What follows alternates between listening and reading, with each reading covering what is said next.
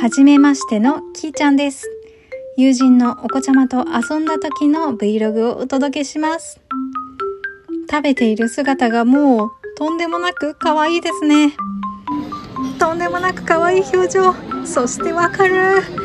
ボールを愛して四半世紀。聞いてください皆さん。気づいちゃったんです。人類史上最強の乗り物ってベビーカーですよね。愛情とともにいろんなところに運んでくれるんですよ。強い。青いね。なんとこれは名前得ですね。青いそうだ。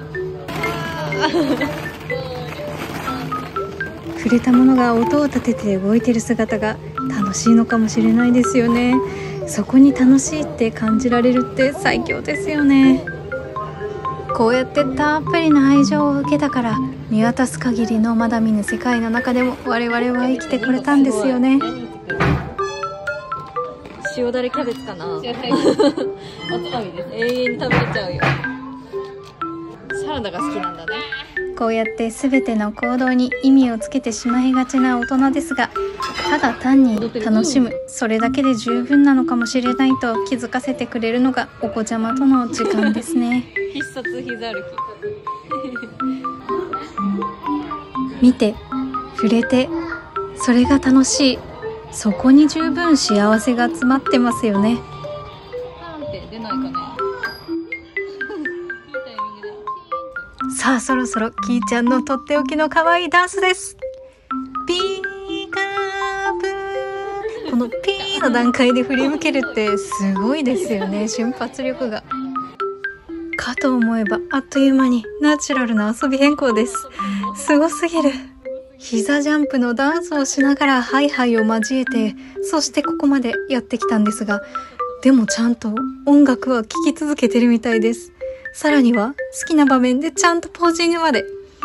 これはすごいです。楽しむことは楽しみながらでも自分の興味には忠実に。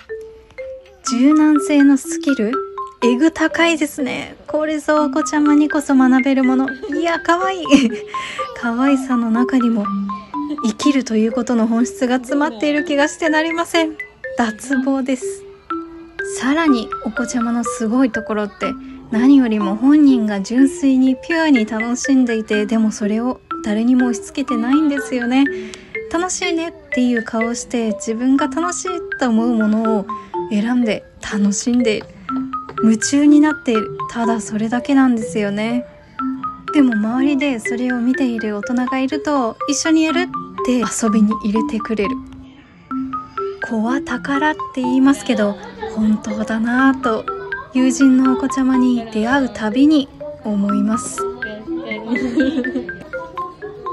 お分解してる。分解してるやるじゃん。誰かがバラしてくれると思ってたら